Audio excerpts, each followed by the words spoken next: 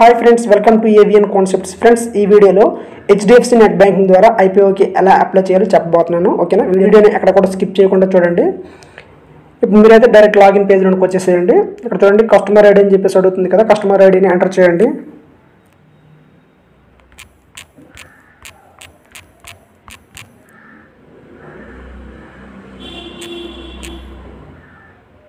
Okay enter చేశాక continue పైన click చేయండి.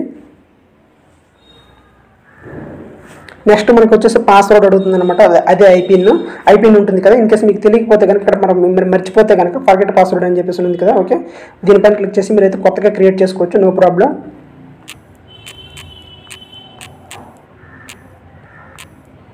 ఓకే ఎంటర్ చేశాక లాగిన్ చేయండి.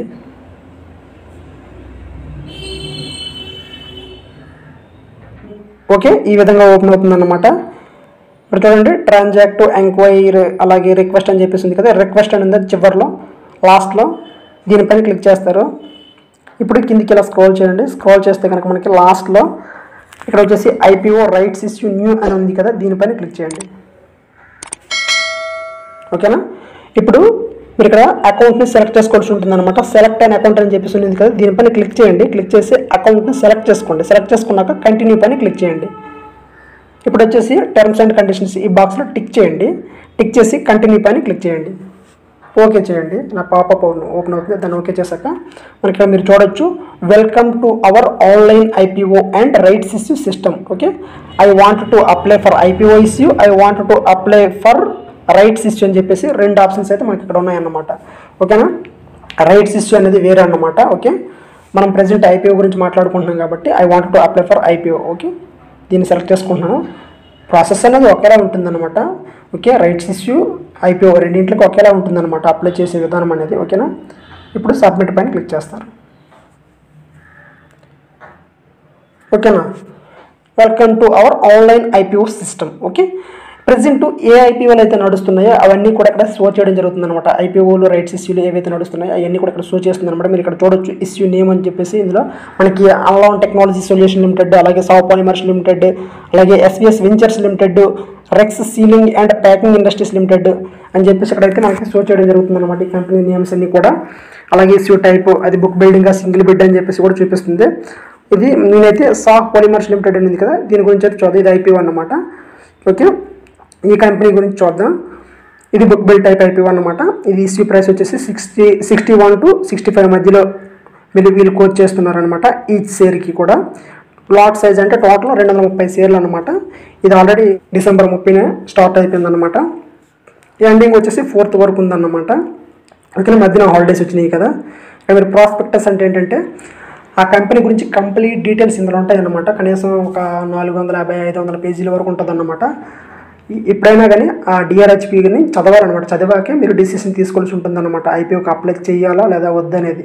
ఓకేనా? ఈ ప్రాస్పెక్టస్ మీరైతే ఇక్కడ డైరెక్ట్ డౌన్లోడ్ చేసుకోవచ్చు. ఇక్కడ లింక్ అయితే ఇచ్చారనమాట చాలా వరకు కొన్ని బ్యాంక్స్లో అయితే ఇది ప్రొవైడ్ చేయరు. కానీ ఇక్కడ హెచ్డిఎఫ్సిలో వచ్చేసి మనకి ఈ లింక్ ఉందన్నమాట. ఓకేనా? ఈ డౌన్లోడ్ పైన క్లిక్ చేస్తే కనుక మీరు డైరెక్ట్ పీడిఎఫ్ ఫైల్లో డౌన్లోడ్ అయిపోతుంది. మీరు అక్కడ అక్కడ నుంచి చదువుకోవచ్చు దాన్ని. ఓకేనా? కంపెనీ యొక్క కంప్లీట్ డీటెయిల్స్ ఉంటాయి అందులో.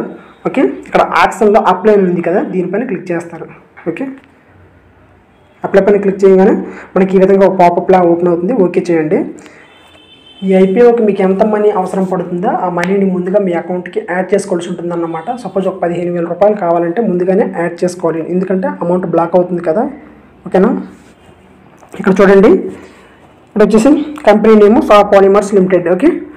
ఇక్కడ వచ్చేసి మీ డిఫాల్ట్గా వచ్చేసింది మీ name me PAN number date of birth enter చేస్తారు. సైడ్కి ఇలా స్క్రోల్ చేయండి. చేస్తే ఇక్కడ చూడండి డిపాజిటర్ అని చెప్పేసి డిపాజిట్ రేంజ్ అని ఉంది కదా ఇక్కడ ఎన్ఎస్డిఎల్ సిడిఎస్ఎల్కి ఓకే మన ఇండియాలో టూ టైప్స్ ఆఫ్ డిపాజిటర్స్ ఉంటాయి. ఒకటి ఎన్ఎస్డిఎల్ రెండవది CDSL okay Angel One Zerodha Upstox ఇవన్నీ కూడా సిడిఎస్ఎల్ కిందకే వస్తాయి అనమాట okay central depositor service limited అనమాట ఓకే ఆ డిపి నేమ్ అనేది ఇక్కడ ఎంటర్ చేస్తారు ఓకేనా సిడిఎస్ఎల్ అని చెప్పేసి ఓకే ఇక్కడ డిపి ఐడెంటి ఏంటంటే టోటల్ సిక్స్టీన్ డిజిట్స్ ఉంటాయండి. సపోజ్ మీది డిమోట్ అకౌంట్ ఏంజిల్ వన్ అనుకోండి అందులోకి వెళ్ళేసి మీరు ప్రొఫైల్ పైన క్లిక్ చేస్తే కనుక ఒకసారి చూపిస్తాను అక్కడ మినిమైజ్ చేసి.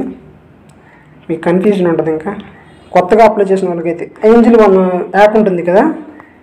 డిమోట్ అకౌంట్ ఓకే అది ఓపెన్ చేయండి. ఓకే ఇప్పుడు ప్రొఫైల్ పైన క్లిక్ చేస్తే కనుక మనకి ఈ విధంగా ఓపెన్ అవుతుంది చూడండి. అకౌంట్ డీటెయిల్స్ ఉంది కదా దీనిపైన క్లిక్ చేస్తారంటే కనుక మీకు పర్సనల్ డీటెయిల్స్ అని చెప్పేసి ఇలా ఓపెన్ అయింది కదా సైడ్కి ఇలా స్క్రాల్ చేయండి. ఇక్కడ వచ్చేసి బ్యాంక్ అండ్ డీపీ డీటెయిల్స్ అని ఉంది కదా దీనిపైన క్లిక్ చేస్తారంటే కనుక ఇక్కడ షో చేస్తుంది. చూడొచ్చు మీరు DP ID total sixteen digits number ఉంది. ఈ నెంబర్ని అక్కడ ఎంటర్ చేయాల్సి ఉంటుంది అనమాట అక్కడ చూడండి డీపీ ఐడి అన్నారు కదా డీపీ ఐడి అంటే ఫస్ట్ ఎయిటీ డిజిట్స్ ఏవైతే ఉన్నాయో అవి డీపీ ఐడిలో ఎంటర్ చేయాల్సి ఉంటుందన్నమాట. ఓకేనా ఫస్ట్ ఎయిటీ డిజిట్స్ మిగతా మొత్తం టోటల్ నెంబర్స్ ఏవైతే ఉన్నాయో ఆ బెనిఫిషరీ అకౌంట్ నెంబర్లో ఈ టోటల్ నెంబర్స్ ఏవైతే ఉన్నాయో ఇవన్నీ కూడా ఎంటర్ చేయాల్సి ఉంటుంది అనమాట సిక్స్టీన్ డిజిట్స్ని ఓకే బ్యాక్ వచ్చి చూపిస్తాను చూడండి. ఓకే బీపీ ఐడిలో ఇక్కడ ఫస్ట్ పదహారు నెంబర్లోని ఫస్ట్ ఎయిటీ డిజిట్స్ డిపి ఐడిలో ఎంటర్ చేస్తారు. బెనిఫిషరీ అకౌంట్ నెంబర్లో టోటల్ సిక్స్టీన్ డిజిట్స్ కూడా ఎంటర్ చేసేస్తారు. క్లియర్ కదా? ఇప్పుడు కిందికి ఇలా స్క్రాల్ చేశారంటే కనుక ఆటోమేటిక్గా వచ్చేస్తుంది అనమాట ఇక్కడ సియర్స్ బిడ్ ఫర్ అని చెప్పేసి ఉంది కదా రెండు bid quantity two hundred and thirty okay అది వచ్చేసింది డిఫాల్ట్గా ఓకే డిఫాల్ట్గా వచ్చేస్తాయి అనమాట ఈచ్ షేర్ ప్రైస్ అనమాట ఈ సిక్స్టీ ఫైవ్ అనేది కట్ ఆఫ్ ప్రైస్ ఓకే అది సెలెక్ట్ అయిపోయింది. ఇక్కడ చూడండి అప్లికేషన్ అమౌంట్ ఈ fourteen thousand nine hundred and fifty rupees ఏదైతే ఉందో ఈ అమౌంట్ ఆల్రెడీ మీ అకౌంట్లో ఉండాలి ఓకే రెడీ పెట్టుకోవాలి. ఎందుకంటే మీకు అది అప్లై చేసిన తర్వాత వెంటనే బ్లాక్ అయిపోతుంది ఆ అమౌంట్ అనేది.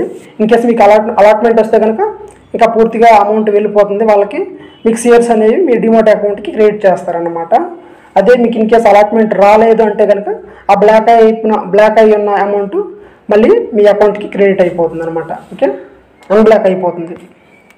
ఓకే క్లియర్ కదా? అదన్నమాట. ఇప్పుడు ఏం చేస్తారంటే ఐ అగ్రి టు ది అంతే ఇంకేమీ లేదు. I agree to the terms and condition conditions అని చెప్పేసి ఉంది కదా ఈ బాక్స్లో టిక్ చేస్తారు. టిక్ చేశాక ఇక్కడ ప్రొసీడ్ అని ఉంది కదా సెంటర్లో దీనిపైన క్లిక్ చేస్తే అయిపోతుంది అనమాట ఓకేనా? అప్లికేషన్ వాళ్ళకి వెళ్ళిపోతుంది. క్లియర్ కదా? ఓకేనా? ఈ విధంగా హెచ్డిఎఫ్సి నెట్ బ్యాంకింగ్ ద్వారా ఐపీఓకి అప్లై చేసుకోవాల్సి ఉంటుంది అనమాట ఫ్రెండ్స్ ఓకే? ఈ వీడియో మీకు నచ్చితే కనుక లైక్ చేయండి మీ ఫ్రెండ్స్ అందరికీ కూడా షేర్ చేయండి. అలాగే ఇలాంటి మరిన్ని లేటెస్ట్ అప్డేట్స్ నోటిఫికేషన్ ద్వారా పొందాలనుకుంటే కనుక నా యొక్క ఛానల్ని సబ్స్క్రైబ్ చేసుకోండి friends thank you thank you for watching ఇంకొక వీడియోతో మళ్ళీ కలుద్దాం. Bye bye